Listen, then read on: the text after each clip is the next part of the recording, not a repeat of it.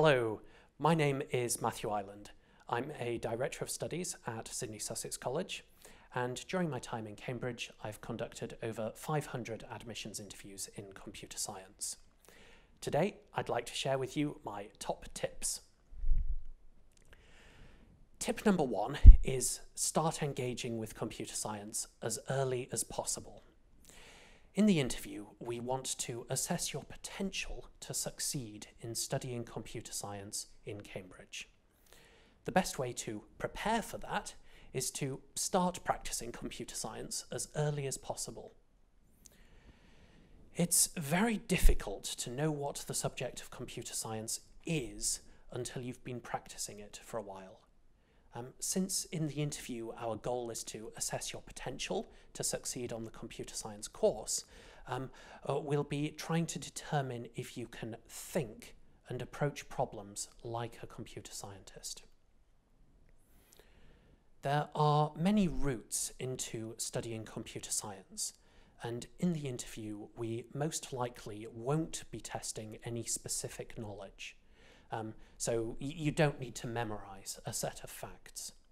Um, but the more you've practiced uh, solving logic problems, writing programs, um, perhaps writing mathematical proofs, um, maybe building um, electronic circuits, uh, the more likely you'll be able to apply the skills you've developed through these activities in the interview. The interview is testing your potential to become a great computer scientist.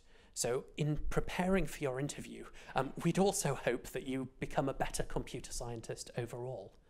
Um, a computer science interview isn't the kind of test that you can revise for the night before, um, but the more you do in advance, uh, the more prepared you'll feel to tackle the kinds of questions um, that we might give you in the interview. Tip number two is be yourself. In computer science, interviews are usually of a technical nature. That means uh, we're most interested in your logical thought processes and problem solving ability, um, and we're unlikely to ask questions about your character uh, or your extracurricular activities. You can think of the interview as a conversation in which we're trying to solve a problem together but naturally one in which all the insight has to come from you. Um, uh, we don't need you to dress a particular way or use fancy words. Uh, we just want to gain some insight into how you think. That leads nicely onto tip number three, which is be willing to think. We want self motivated, proactive people who'll get things done. So maybe, for example, um, in the interview, if I ask you to count how many comparisons are performed in a particular sorting algorithm, um, I'd rather you didn't say, I don't know, uh, because you haven't learnt that in school, um, but I'd prefer you to sit down and actually work it out. Of course, make sure to talk to us during the interview. Uh, if you share your thoughts with us, we might be able to support relevant thoughts um, and help you to avoid others that, while interesting, um, um, might not help lead to a solution to the particular problem at hand.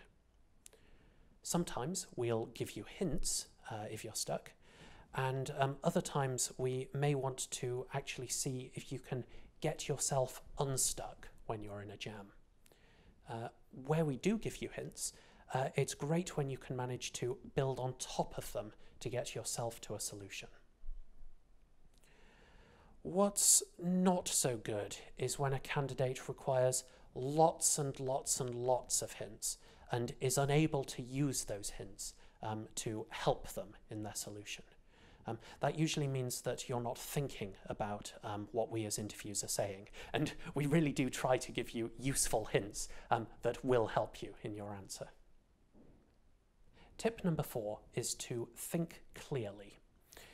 There are many formats that the admissions interview might take, but in most of those formats, we give you credit for the logical steps forward that you manage to make in the solution to the problem.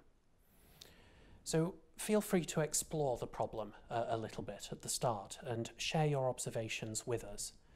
For example, you might be able to set out some ideas about possible approaches, um, or very early on eliminate some approaches that you don't think will lead anywhere. I think one of the differences between school and university is that um, at university uh, there isn't a difference uh, between what you're taught and how things actually work in the real world.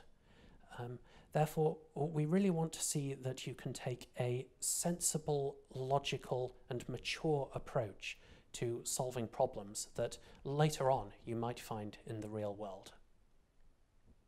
Tip number five is to think quickly. In life, success is achievement per unit time. The interview is a time limited form of assessment, just like an examination. Of course, getting things right and exhibiting a clear logical thought process is the most important thing. Um, but conversely, given infinite time, um, almost everyone would be able to solve most of the problems that we're going to give you. So we'll also be assessing you on the basis of how many things you're able to get right during the interview.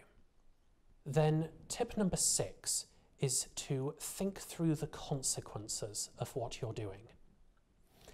In life, you often don't have time to mechanically work through the details of every idea that you have it's good to be able to reason about where an approach might lead um, before launching yourself down a road that might lead nowhere.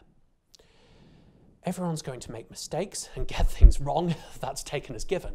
Um, but it's also not so bad if you're able to justify why you took the particular approach that you did. You can usually build on that. Random guesswork is almost always bad. Um, it's good to have intuition, of course, um, and to try out some ideas to build familiarity with a problem. Um, but what's less good is naively throwing around a lot of ill thought out ideas um, in the hope that you might chance across something that's correct and that the interviewer would confirm this for you.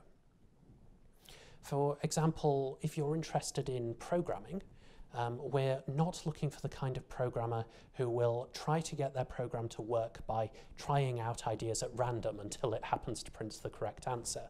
Um, in this case, we'd be looking for programmers who take a reasoned, logical approach to building a program that's correct by construction.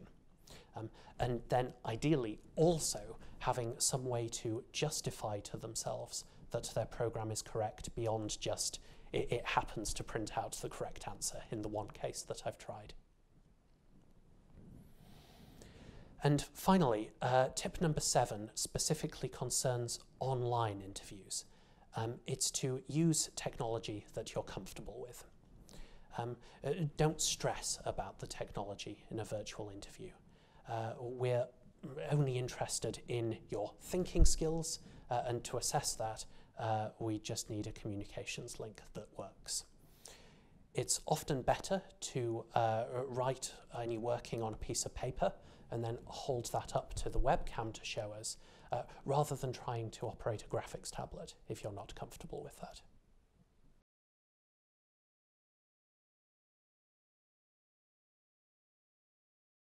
I think I felt really guided and supported during my interview and admissions process.